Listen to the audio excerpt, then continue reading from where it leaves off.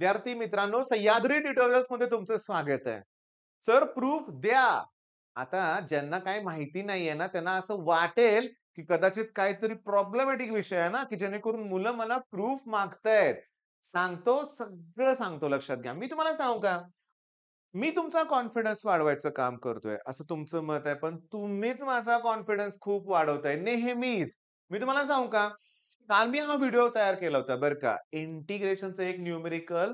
हे एक न्यूमेरिकल करण्यासाठी मी काय केलं होतं की भरपूर डिटेल बेसिक सांगितलं होतं बरं का. आणि त्यात काही फॉर्म्युले आहेत की ज्याचं प्रूफ एक्झाममध्ये चार मार्काला विचारलं होतं. आणि मी मुलांना म्हटलं होतं व्हिडिओच्या शेवटी की तुम्ही मला पाहिजे का प्रूफ? तर द्या म्हणा सांगा. असं कॉमेंट करा मी बोललो होतो. मी तुम्हाला सांगतो ते कॉमेंट्स मला तुम्हाला दाखवायचे आहेत.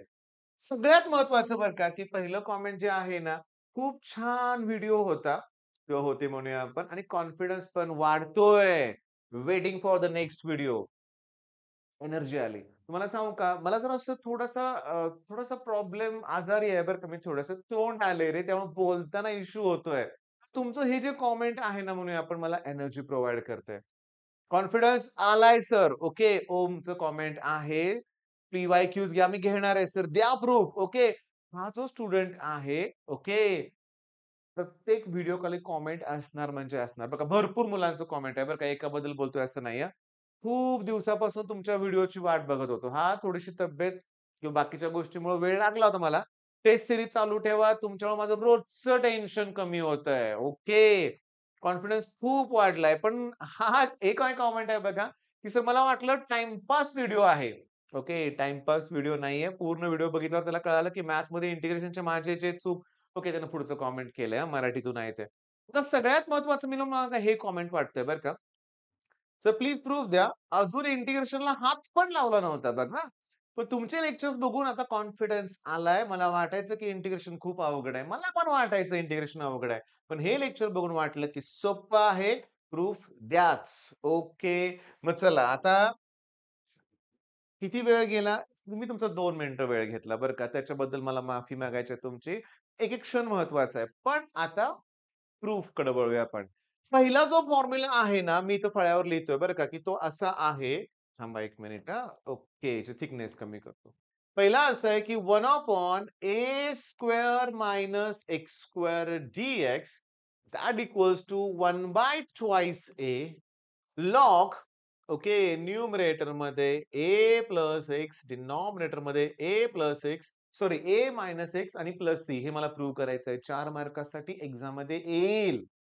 बर आता मी तुम्हाला सांगतो व्यवस्थित लक्ष द्या. जे प्रूव्ह करायचे ना त्याची एल एच एस लिहून घेऊया. One upon a square minus x square d x.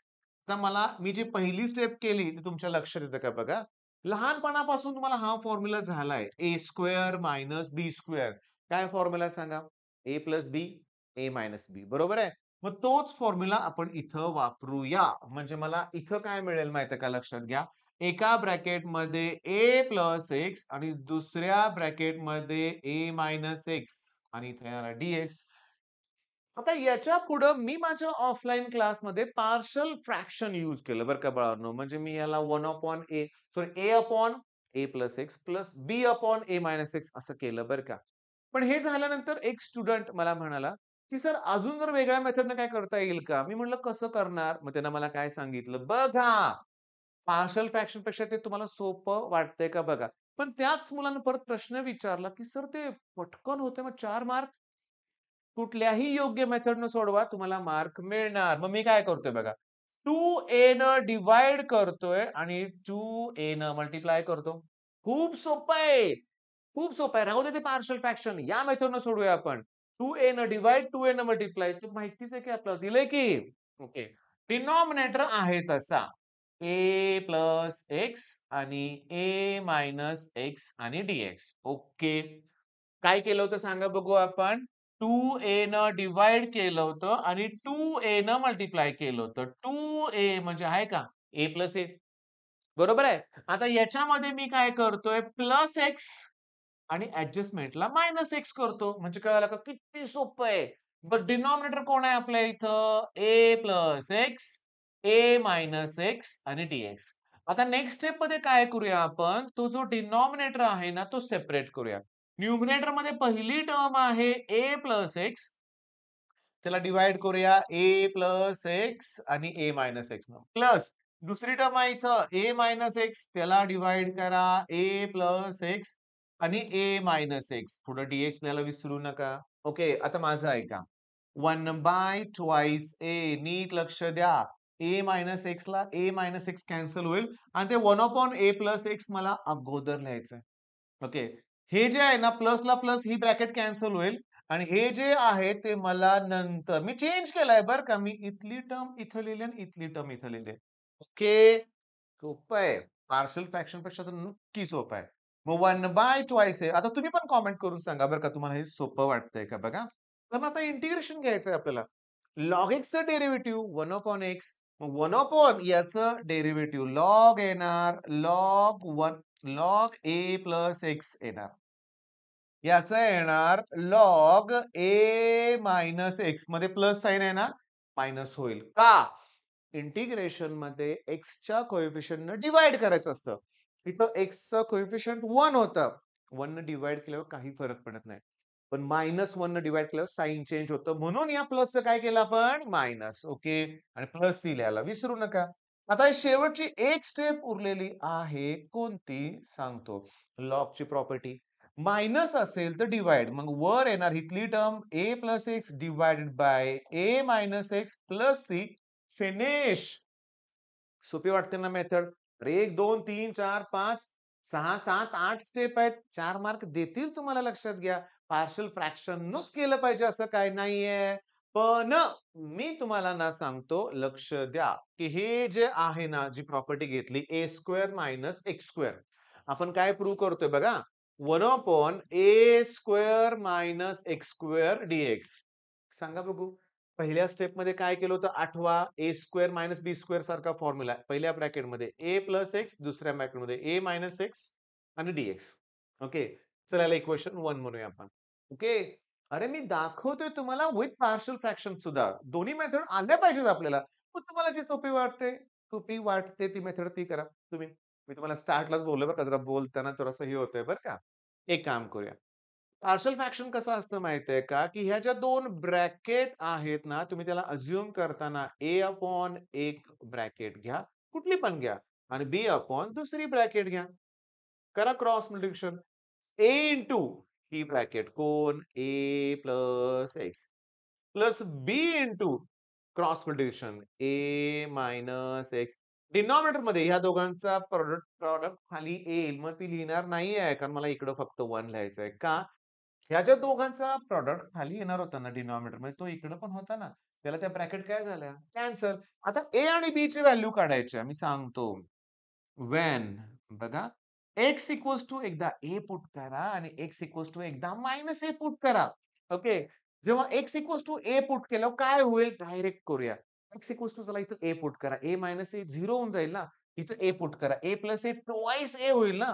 त्यामुळं वन बाय ट्वाईस ए एची व्हॅल्यू मिळेल. चला x value minus a put करा. ते पण काय होईल? इथं x value minus a put करा. ह्याला हे कॅन्सल ए झिरो होऊन जाईल. पण हे मायनस साईन आहे बाळांनो. इथं मायनस साईन आहे. एक ए मायनस एक्स ची व्हॅल्यू मायनस ए जेव्हा मी पुट करणार मायनसला मायनस कॅन्सल प्लस होईल ए प्लस ए ट्वाइस ए हे बी इकडं आणा. वन बाय ट्वाइस ए म्हणजे बी तर वन बाय कुठं? ह्याची व्हॅल्यू वन आहे ना इकडं.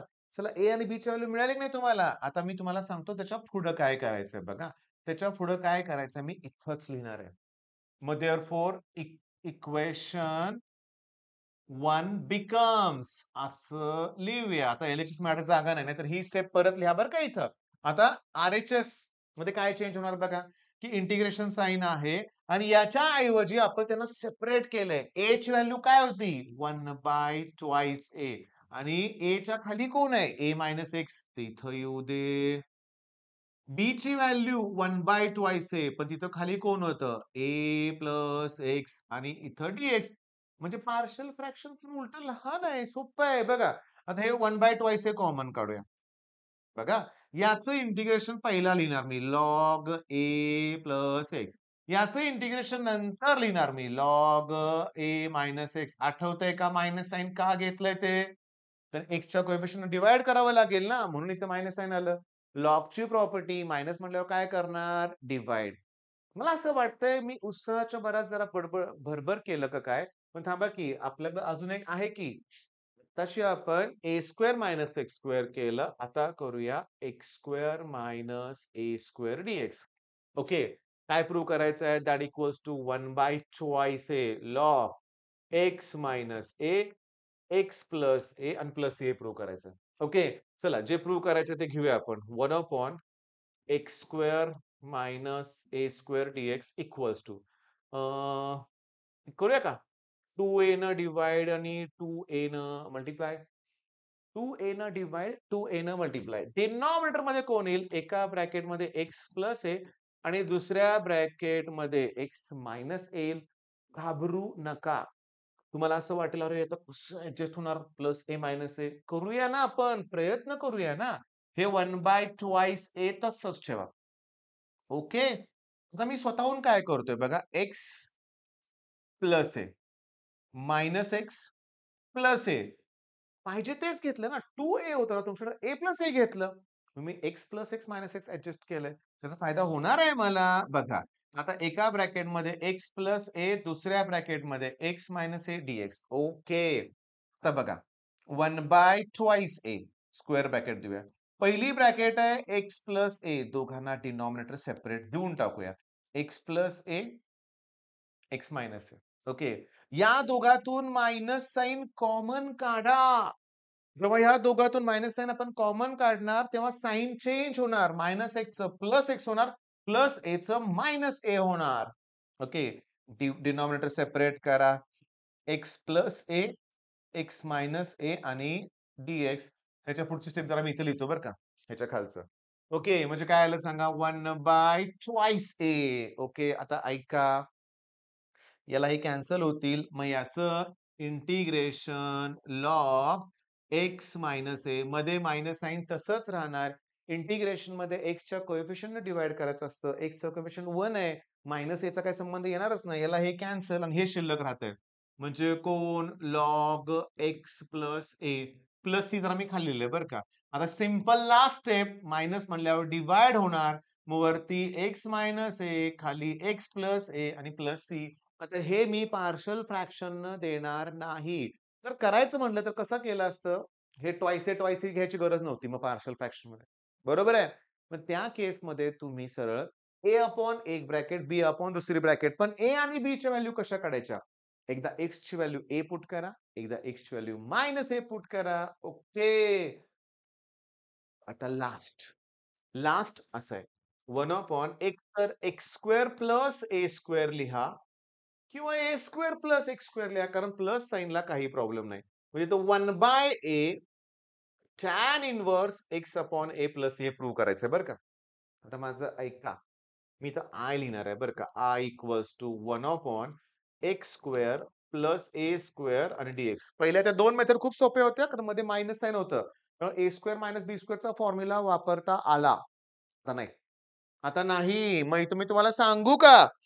प्लस साईन आहे. ठरलेलं सबस्टिट्यूशन आहे, की एक्सची व्हॅल्यू तुम्ही इथं ए टॅन थिटा पुट करायची. असं असेल a square minus x square ठरलंय. एक्सची value a sine theta put करायची. आलं का लक्षात? X square minus a square x x value x एक थिटा पुट करा. ओके. हे ठरलेलं सबस्टिट्यूशन आहे. तुम्ही इंटिग्रेशन सारख्या टॉपिकमध्ये ना पुस्तक उघडा. तुम्हाला दिसेल ते. बरं एक्सची value a tan theta put केली. ओके. इंटू च अपॉन ए करा. दॅट इक्वल्स टू कोण राहिलं? Tan theta. टॅनचं टॅन इन्व्हर्स करा. Tan inverse x upon a he value थिटाची मिळाली. ओके. इंटिग्रेशनमध्ये जेव्हा तुम्ही सबस्टिट्यूशन कराल तेव्हा परत डीएक्स लिहू शकत नाही. मग डेरिव्हेटिव्ह काढा. मग त्याच्या अगोदर पुन्हा लिहितो बरं का तुमचं केलेलं सबस्टिट्यूशन तुम्ही. मग इथे लिहूया differentiating with respect to x. A टॅनचं derivative sec square theta आणि थिटाचं डेरिव्हेटिव्ह ती डी डी थिटा कॉन डीएक्स. डीएक्स इकडे जाऊ दे. चला मग तुम्हाला आय इक्वल्स टू काय मिळेल बघा. वन अपॉन एक्सची व्हॅल्यू काय टाकली रे आपण? A tan theta.